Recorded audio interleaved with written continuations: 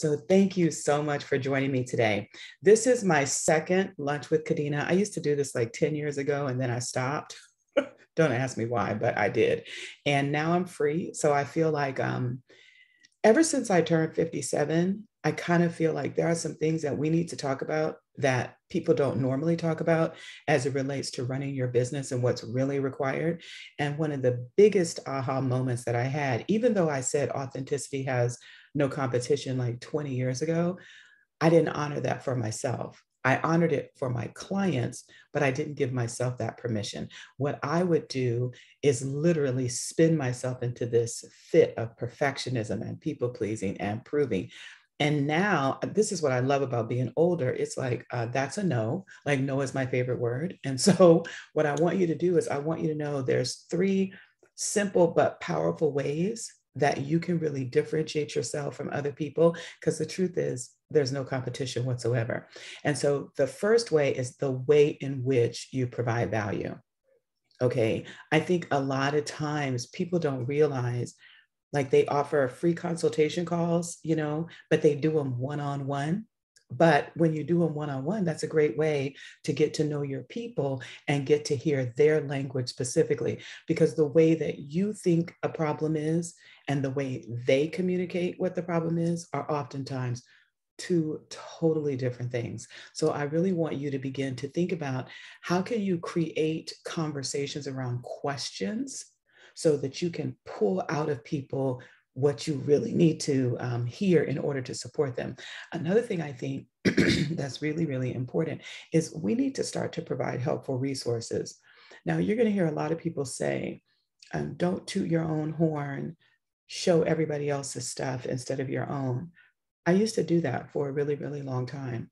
And you know what I found that it did was it, sp- it spun me into self doubt about my own value. I think if you create a, a, a graphic, right, that helps a person comprehend a specific point, that's your intellectual property. That's your wisdom being displayed on the page. You can share other people, but you can also put yourself forward. Do you follow what I'm saying? Because we're kind of socialized to put ourselves on the back burner. And then what we don't talk about, especially if you've been heavily churched, like I have been, there's this feeling of anger and resentment because everybody goes before you. And it's like, well, where's do do my does my life matter? Do my words matter? Does my presence matter? And so to spin you out of that, I'm going to encourage you like give yourself permission to be creative and messy. And what I mean by that is like I'll show you something. So I don't know why I didn't pull it closer to me, but like I created this workbook 20 years ago. The only people who've ever seen this are the people in my coaching program. And I would always apologize to them because it wasn't perfect. And then when I think I turned 55, like two years ago, a graphic designer said to me, Who's your graphic designer? They design such beautiful graphics. And I was like, Me. And she said, What? I was like, mm-hmm. She said, I never see anybody's graphics like yours. And that helped me to see why I started asking clients, like, why did you hire me? And they were like, because you give me permission to be me. So I think when we give ourselves permission to be ourselves, we give our clients permission to be themselves. That's a way of providing value that nobody else has, right? I also think it's about providing a different perspective. This is all under providing value, okay? It's also about you providing a different perspective. So it's not about arguing with people, but it's kind of like when we were on Clubhouse and I asked the question, what problem do you solve? You know, and, and people kind of paused and hesitated and they wanted to talk about themselves. Customer doesn't care about you, right? The customer cares. Are you listening to me? Do you see me? Do you hear me? Uh, it, kind of goes back to the earlier point that I made. Does my life matter? Do I matter? Or is it all about you? So I think we got to like get away from being scared to say, you know, have you considered this? Or have you considered doing this a different way? Or have you considered this different approach? And kind of, it's not that you're challenging people, you know what I'm saying? Just to be challenging people, but you're challenging people in a respectful way, but letting them know you can't keep doing what you're doing and expecting a different result because that just like does not happen, right? And then I also think that um, one of the things that we really, really struggle with a lot of people is accountability. I'm prior military. Plus, not only am I, I was active duty Air Force, but I also grew up as military dependent. My father was in the Marines for four years, and then he was in the Air Force for 28 years. So I grew up under heavy levels of accountability and responsibility. And I think we need to start holding our clients accountable instead of us as women, you know, um, putting the entire burden on our back. And then now we end up like carrying people, dragging people, pushing people, pu- pulling people over imaginary finish lines. That's not cool. So I feel like the, the greatest way for you to provide value is to ask a person, hey, what's your goal? And by when are you going to achieve that goal? How can I support you? Not how can I do it for you, right? Because you got to do your own work, but how can I support you? And by support, that doesn't mean that I become your emotional uh, dumpster, right? That doesn't mean that I become like the, you know, the concierge who's doing everything for you. It doesn't mean that. But what it does mean is providing that level of accountability and creating sacred space for them so that they can flourish and they can be vulnerable and say, you know, I don't know how to do that. I, um, I don't know what I should be doing. I don't, you know, I, I just don't know. And you being clear enough to say, you know what, I don't know everything either. Nobody does.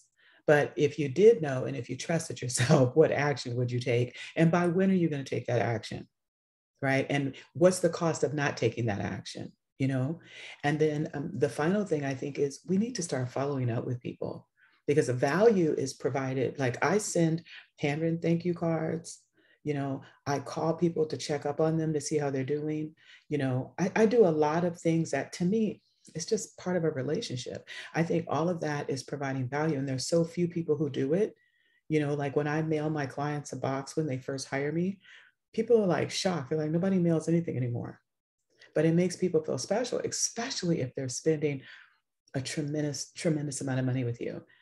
The second way, well, before I go to that, do you guys have any questions about that? Or do you have, what questions do you have around how you're providing value? How can I support you?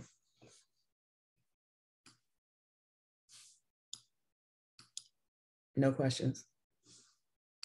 You got to unmute. Okay, cool. All right.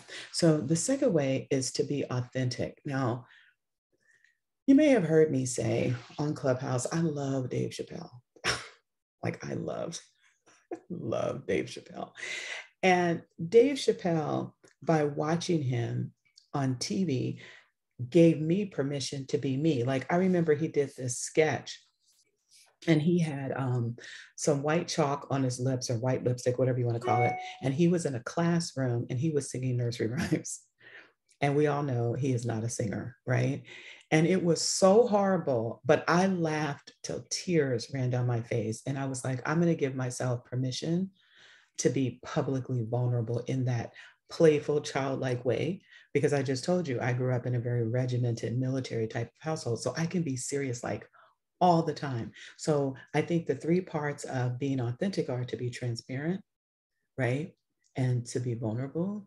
And I'm sorry, my eyes are itching really bad. Please excuse me and to um, and i'm trying not to rub them but and to really like render a level of service that's rooted in we're shoulder to shoulder staying as leaders not teacher student do you know what i'm saying not priest uh, and layman it's not this it's a relationship like this not a relationship like this or this just getting really really honest about the fact that we're one tied to another here to be of loving support to each other. And we can't do that if we're wearing masks and we're pretending to be somebody that we're not. And then the third thing I feel is something that's like a sticky point for people because, especially if you've been heavily churched, you find people say, um, they'll say stuff like, well, I don't really need to do that because I can just pray about it. But the third way is to engage in both personal and professional development one of the things that I have found, and I, I saw this years ago, I was at a friend's house and um, Janet Jackson came on television. And this is like when I think she was, I, I think this was in the control video whatever. And my girlfriend was complaining about how she can't even sing and she's so famous or whatever. And I said, Ooh, jealousy has reared its ugly head. Now, the person that I was talking to sings a cappella and could sing anybody under the table. And I turned to her and I said to her, I said, You know what I find fascinating? You're tearing her down because she's doing publicly what you're afraid to do. So you go to church and sing your heart out, right? Which most people do. And then they bitterly talk about the people who come on TV and they're using whatever editing stuff like to make their voices sound better. There are people right now who can outsing any person that's a current musician, celebrity, but they're too afraid to bring their gift forward. I think sometimes we get so stuck in a rut that we don't realize that our comfort zone is actually a place of great discomfort because it keeps us stuck in tolerations. You know what I mean? Like you're tolerating under earning, you're tolerating over giving. You're just like doing all the things instead of sitting down and looking at from a professional perspective, how can I make my work easier? For not just for the client, but for me. Why do I have a workbook? Because I got sick and tired of people asking me the same question over and over again. I'm not talking about different people, I'm talking about the same person. Do you know what I'm saying? Like, here we are, grown people. You ask me a question, and then every time I see you, you ask me the same question. I'm like, Did you write that down?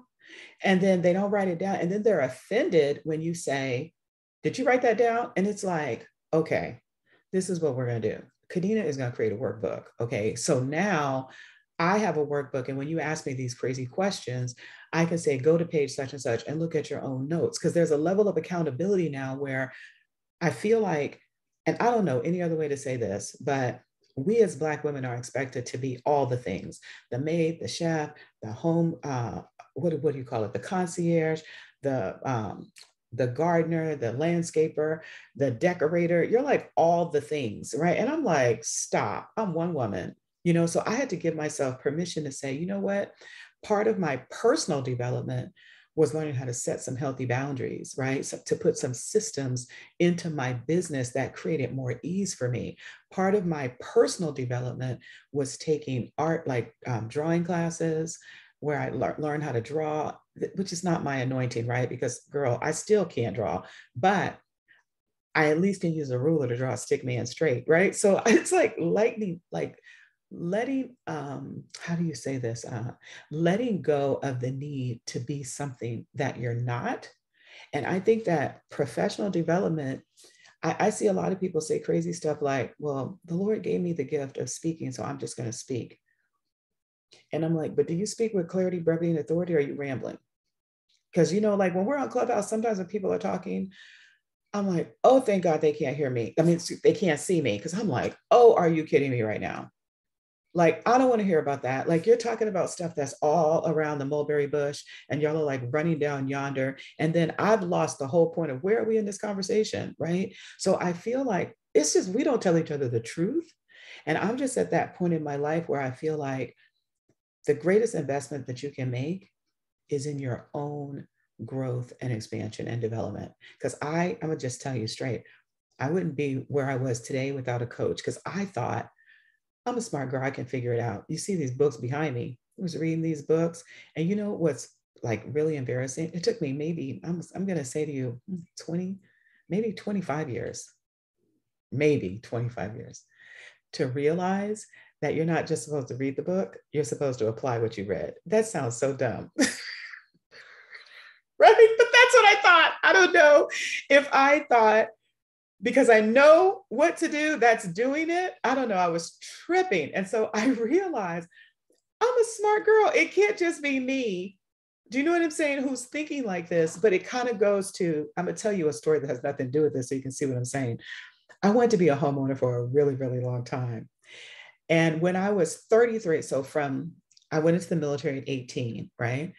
Got out when I was 22. Tried to become a homeowner and they wanted like 30% down payment. And you know, when you're 22, you're like, where am I going to get $15,000? Right. So now I'm 33 and I'm complaining to this woman about how I can't be a homeowner. And she bust out with, Did you fill out the loan application? because I said I prayed about it. I said, I've been praying about this. I've been looking at houses. And she said, Did you fill out the loan application? And I was like, uh, No.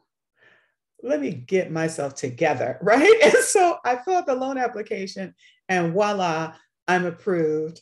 And now, you know, I was a homeowner. Right. But it was just like, that was like, I think, like my big, I thought I had an epiphany and woke up to it. But then fast forward, and I think I'm 45 and I'm talking to somebody and I'm telling them an action to take in a book. And I said, I didn't even take that action. I was like, let me not be a hypocrite. Let me take the same action I just told you, like heal thyself. So I, I just think that we've got to get, we've got to get really clear, you know, about like what is it that we're wanting. And I also think I'm going to add another one in here, even though I said three, something just popped in my head. I think the fourth thing is how you run your business, just in general. Because so I worked for an airline for 20 years. And let's keep it 100 here. A 747 airplane is a 747 airplane, right? The only difference is the experience on each aircraft. That's the differentiation, right? So, what makes somebody fly on Emirates versus British Airways versus Virgin? You know? It's the service. So I feel like this is something that's like really needed, especially in this land of online, where people I think have they're like little keyboard ninjas and they're gangsters, you know, online. Then you meet them in real life and they're all timid, you know, and, and very meek and mild. But online, it's like a whole nother level of ridiculousness. So I feel like this the service really stands out. Because when I meet people in real life and I give them a gift bag, like when I have events, they're like, God, this gift bag is so rich. And I'm like, well, let's take a step back.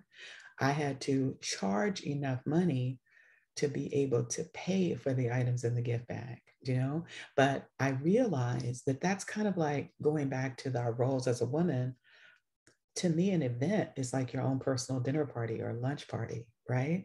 So if you treat it like that, I, uh, my attitude is my events are little baby weddings. So I like, you know how um, Godiva has those little bitty chocolates and um, you know how like when people get married they have the um, those little i forgot what they're called but it's like those long cylindrical things and they'll put skittles or m&ms or mints in them like that type of stuff go to a party store and you're going to see all this stuff you literally can sit down if you're if you're doing an event like a 12 people and you have a little gift bag and it looks like a little party favor bag from a wedding, but then you add something like this in it. You get a sponsor and you add, let me turn this light off. You add, turn this light off. Look at all this. Okay. Hello. I'm going this way. You add something like this, right? That changes the game. Do you know what I'm saying? So you get a sponsor to offset the cost so that then you can say, and this is courtesy uh, sponsored by so and so, right? In my particular case, Guitar Center, right? So you say the name of the sponsor, and now you have what a hundred dollar gift, and people are like, wow, that's a differentiator. So that's kind of sort of what I mean. So that's all I got. And I, I know I said that kind of fast, but I, uh, one thing that I did want to do, because I don't want to be rambling on calls for hours at a time talking about a whole bunch of stuff. So let me know what are your thoughts? What action? So from what I just shared, like what's one thing that you can do, you know, like this week, or, or at least put it into your plan to implement this week? Because that's one of the reasons I wanted to do this call. I wanted people to have something tangible, not just, I'm not talking from a theoretical place. I want you to know doing these things or even one of these things will change your business. So, what appeals to you, or what are your thoughts? Uh, I can go first. Um, so, I'm going to shoot an email to my prior clients. So, I used to do um, check ins, like Okay.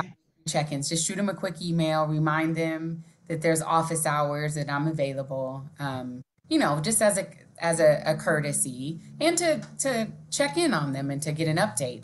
Um, but because I've I'm in the process of um, getting clarity on what my new business model is going to look like. So moving from a service provider doing business operations and business compliance, okay. that into um, either coaching, VIP day one on ones. I'm not sure yet. You know, I'm just kind of waiting for it to. You, know you can kind of play. No, let me tell you something. Yeah. That's a brilliant idea. But this is what I would do. You said boxer, right? So why not record an audio and say, hey, I got an idea, something I'm thinking about creating. You know, um, I'm going to do a quick survey. Would you prefer a group coaching program or a VIP day? Which one sounds good to you? So you basically say, This is the problem I noticed that people are having. My solution is either going to be a VIP day or a group coaching program. You know, as a result of being in this particular program, you're going to express, experience, achieve, accomplish, whatever. Which one do you prefer? So it's kind of like a check in and it's a question so that you're not creating something that nobody wants, right? And I, this is my thing. I'm so glad that you're transparent about you're not sure which way to go. What I used to do was, which still trips me out that I did this, because I don't know. I was waiting for some divine inspiration. This is girl. Like, I don't know what I. I don't know if I thought I was going to hear a voice or I was going to be driving down the freeway and see a sign. I don't know. I was tripping. Okay, so I. That's why I'm saying to you, like, make either an audio or a video, or just write the email out but here's the thing that you do that people don't tell you to do you never build anything first. You create the sales page first. And then what you do is you use the sales page to test it. Now that freaks us out as Black people because we're taught you got to be 10, 20, 30, 100 times better, smarter, faster than white people. So we're scared to do that because we don't want to be seen like with their pants down. But the reality of it is that's what slows your money down because now what you're doing is you're perfecting this idea that you don't even know that people are willing to pay for. So my recommendation is like, you know, literally iterate your way forward. Do you know what I'm saying? Demo test it, send out a video or whatever, and say, or create just a little video sales page. You know, it's like, hey, boo, hey, let me tell you, I got this thing. This is this is a problem. I'm noticing people are having this problem. Make sure you tell them I'm noticing people are having this problem. So I created this solution. And as a result, the transformational benefit to you would be that you're going to achieve, accomplish, feel, know, do whatever differently. Do you see what I'm saying? And then let people say, I want that. And then once they say, I want that, don't just start creating. What specifically do you want? Because sometimes when you're in overachiever mode, they said a group coaching co- program you know what I'm saying? And you didn't created like a $20,000, $30,000 mastermind experience. You know, so, you know what I'm saying? Because you know what I'm before. Wait a minute. Yes, that's what I'm talking about. Because I have done that. So like stop and create another survey, right? And what do you want in this? Like what ask more questions so that because oh, this is what I can tell you. Kadena has created college courses for kindergartners because I thought that when they said yes, I thought they were at the college level and I just went to work and then they were like, I don't even know what this means. And I'm like, but this is what you asked for. No, it's not. Like we we gotta simplify, you know? Does that does that support you? Oh, it definitely does. Thank you. And where can I because I didn't wasn't taking notes. I started taking notes, but then sure, I'll like, email I'm you. No, no. Please, thank you. I got to review it. But do me a favor. Do me a favor, and put your emails in the chat so that way I don't have to dig for them. Okay, and um, do put your emails in the chat for me, and then I know we have like three minutes. So yeah, I'll email them out. And here's the good news: is um, I just feel like this is our time right? But it's not our time if we're not willing to let the creative process be messy, right? So we, you can't go into this like spinning on your perfectionist wheels. You literally got to take that off and just say, you know what, I'm an artist. You know, I'm a business artist and I'm experimenting with what's going to work versus what's not going to work because you can make more money right now than in any other time in history simply because people's attitudes are changing and they're realizing I haven't heard a diverse voice, right? I'm, I'm looking at people doing the same thing the same way, or they're looking at people who've stolen other people's ideas and claim them as their own. And those people are gaining the courage to step forward and say, no, that's my work. You know, no, that's my work. And the internet, I tell people like it is a game changer. for and it can you can use it for evil, you can get or you can use it for good. So I want y'all to be loud and proud about the value that you bring. I'm so glad you came today. I don't know where these other people um, are, but it's so funny how people say, I'm gonna be there. And I'm like, okay, if you show up, cool. If you don't, cool. Okay, so much love, and I appreciate both of you. And uh, I'll probably see you next week. If not, I'll see you on Clubhouse. but have a fabulous day. All right, bye bye. Oh, thank you. Thank you so much.